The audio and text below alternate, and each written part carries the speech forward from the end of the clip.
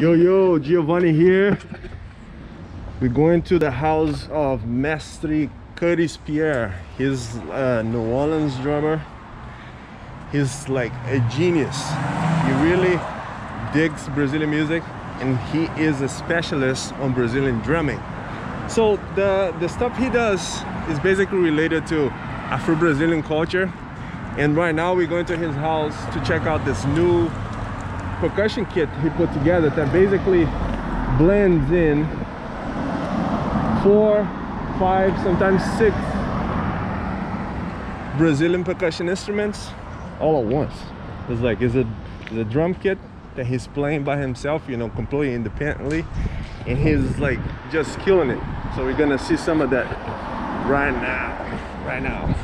So hang on, coming to his house right now. Here we go.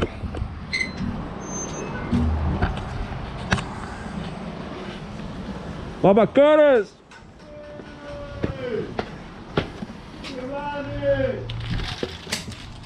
That you? Yeah, that's me, man. Hey, man. What's happening? Sup, sup, sup, sup, sup, sup. Hey, how you doing? Doing good. What's going on with you, man? So, uh, gonna tell to the world, you know, like kind of show to the world that this this invention of yours, you know, you told me that like you can play six, sometimes seven Uh-huh.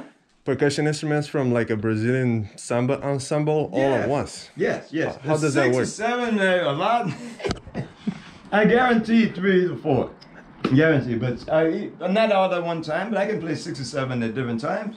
But this kit is what I call the samba kit. You can play pagode. I uh, there's a lot of different rhythms you can play on this kit. Uh, you can do samba, and I have other kits. There's I have a berimbau kit, and I also have a it's called the samba kit with all of the bells and whistles. Dang. Everything you have like a third surdo, first, second, and I have another one bossa nova kit what I have with a cuica.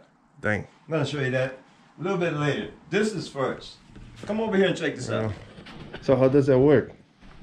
First of all, you have heckle heckle, you know, is tamborim, tan tan, okay, and pandeiro. And this this particular thing here is my new uh, invention. It's uh, what I use to hold my pandeiro.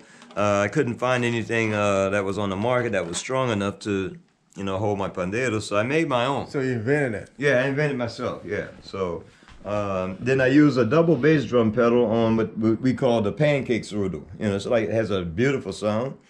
And uh, I use two pedals because for me, the most important thing for playing samba is is the is the beat that you feel and not the one that you hear. So and that's the mute beat. So I'm gonna show you, for example. so know- you have two you have two yes. two sticks like hitting Yes. the, the surdo here. Basically, like, well, that's that. Basically, you play uh, surdo with two hands. You hit one with the uh, stick and the other one with your hand in between.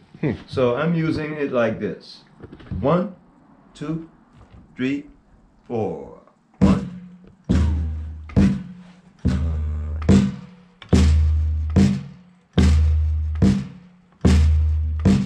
Then I add the other instruments in. Tamborim. Pandeiro.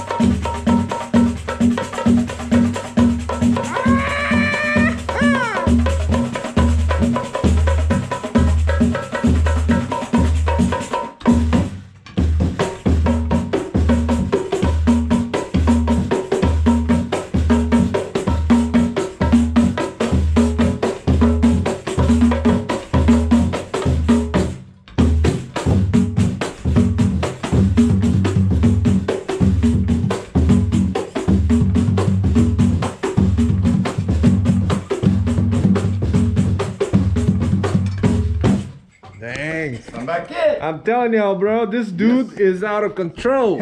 is out of control. Yes, So yes. how how did you come up with this idea, man? Man, during the? COVID, you know, you couldn't we couldn't get together as a group, you know. So in samba, it takes at least two or three people to make samba. So uh, I put together this kit. So I I've been working on this actually long before COVID, but it came in perfect for that.